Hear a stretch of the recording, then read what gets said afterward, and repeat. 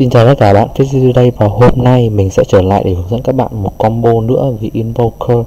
mà Grimorium đã chỉ trong video trên Holy Deck do một vài lần trước.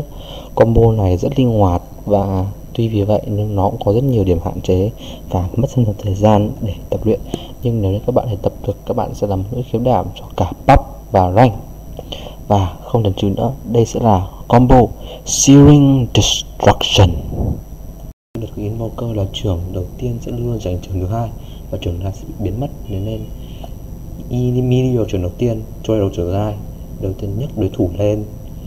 bằng mi, bằng Tornado thả Meteor trong lúc thả Meteor invoke EMP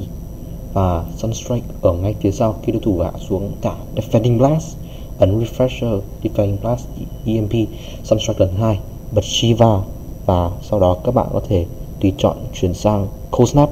hoặc Alacrity cùng với Ice Wall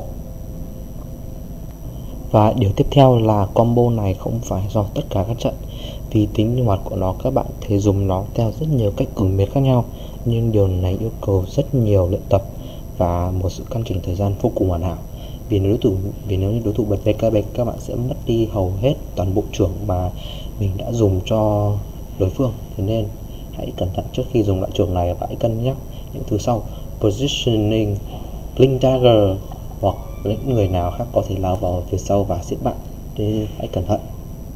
Và đó sẽ là tất cả những gì cho combo Seeing Destruction 1 à, Combo mà mình học được của Grimorium. Hãy nói em mình các bạn à, không hiểu gì dưới page trên Dota 2 Việt Nam Hoặc là dưới comment trên Youtube và đó sẽ là tất cả những gì cho combo Seeing Destruction 1 uh, à, Combo mà mình học được của Grimorium Hãy nói em mình các bạn uh, không hiểu gì dưới page trên Dota 2 Việt Nam Hoặc là dưới comment trên Youtube. Và mình rất xin lỗi nếu video này hơi lag.